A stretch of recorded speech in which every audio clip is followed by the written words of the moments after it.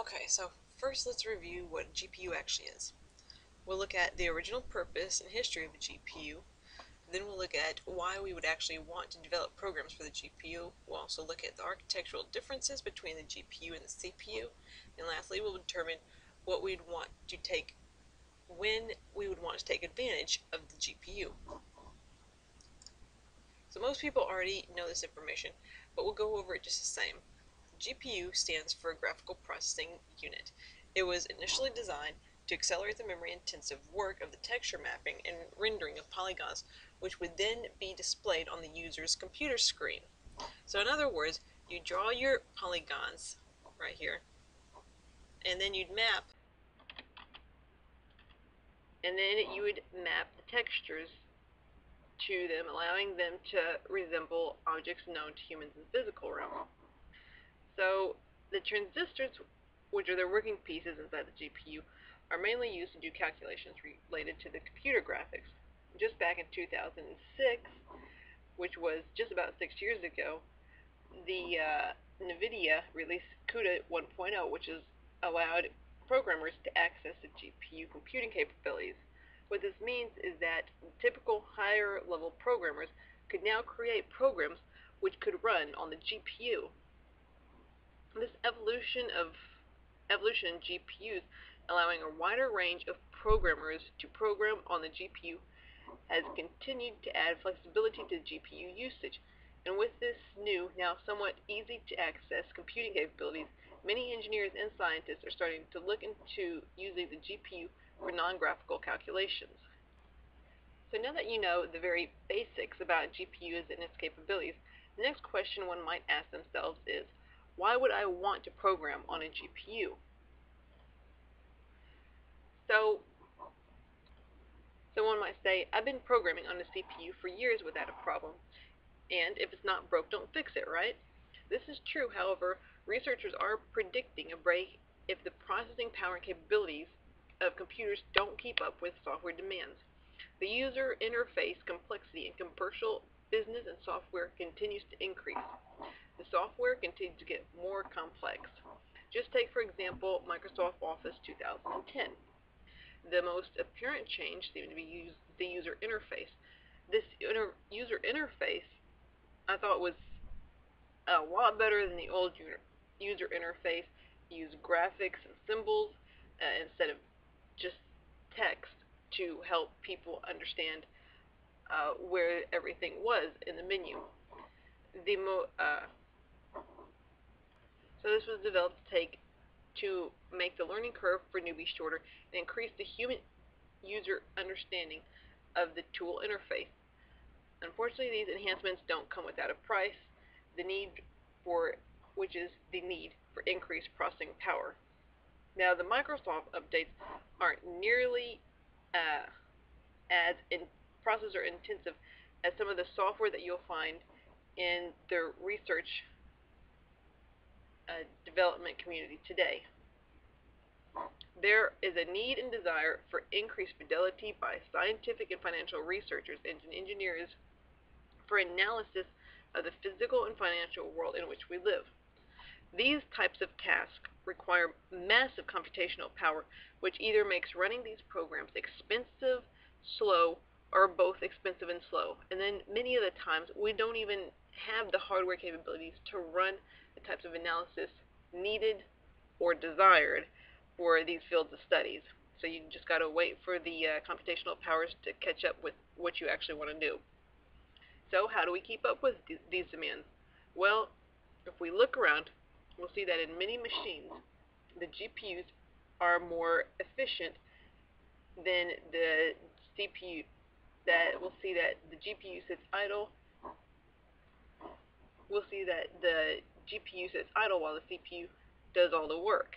The GPUs are more efficient than the CPUs in certain processes and programs that take advantage of parallel programming.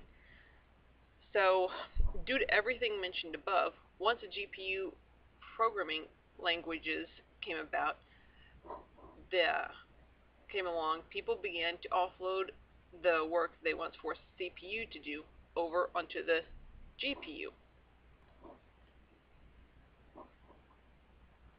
Now there is one caution we should talk about before we go any further.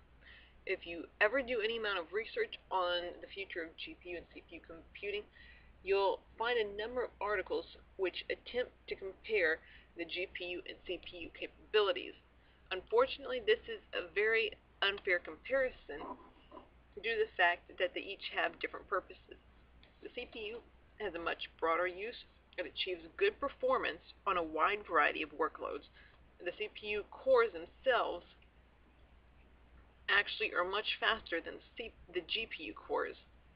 On the other hand, the GPU is very has a very specific use, so it can maximize its architecture for that one single use, which is doing arithmetic and arithmetic uh, computations. It also has dozens of cores compared to the CPU's simple 8 4 8 cores.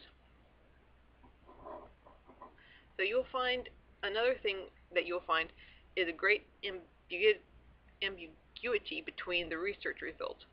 Different GPUs and CPU speeds have been measured to be somewhere between 2.5 times faster to 100 times faster. And this is a great range of uh, in the research results. And these differences could be due to the quality of code uh, and have actually nothing to do with the hardware. Uh, it could also do with what algorithms are being tested. Therefore, it's really important to read multiple research results and get a clear picture about uh, GPU uh, capabilities. So now let's go one step further and talk a bit more about the actual differences in GPU and CPU architecture.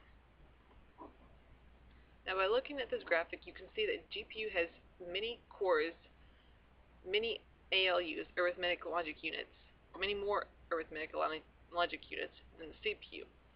The ALUs are the sections of the processors which take care of the arithmetic and logical operations. That's the green part right here. This is actually what gives the GPU the capability to just absolutely excel at parallel processing. If you uh, look at the table, you'll also see some differences, other differences between GPU and CPU. So for the cores, the GPU, CPU has around four processors, where the GPUs usually have, or cores, I'm sorry, where the GPU has several dozen cores. The CPU is optimized for very extremely rapid sequential processes, whereas the GPU is optimized for doing and excelling at parallel or concurrent operations. For the CPU, transistors are mainly used for uh, more for the flow control and data caching, whereas for the GPU, transistors are used more for data processing. Uh, for the core speed, the CPU core speed is a lot faster than the GPU's. Core speed typically runs uh, in the order of magnitude of gigahertz, whereas the GPU only runs uh, at megahertz. Currently, you will start to see GPU's core speeds of 1 gigahertz, 1.5 gigahertz, but the CPUs are still faster, going at about 3 gigahertz or higher. So what's the takeaway from all of this? The GPU should be thought of as a supplement, not a replacement for the CPU.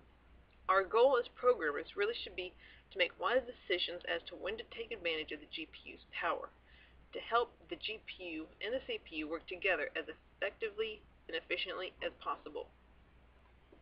Okay, and what's supposed to be portrayed in this picture is that you can think of the CPU as this one really big, powerful person who's pulling a task. And then there's a GPU, you have a lot of littler, weaker people all simultaneously pulling a task. Then you ask yourself, well, which one's going to win if they're both pulling these? Who's going to pass the finish line faster? Well, it really depends on what is in this box, what the task is. You have to actually pick apart the task, try to figure out what all is involved in that task, and then, and only then, can you determine whether it would run better on a CPU or the GPU.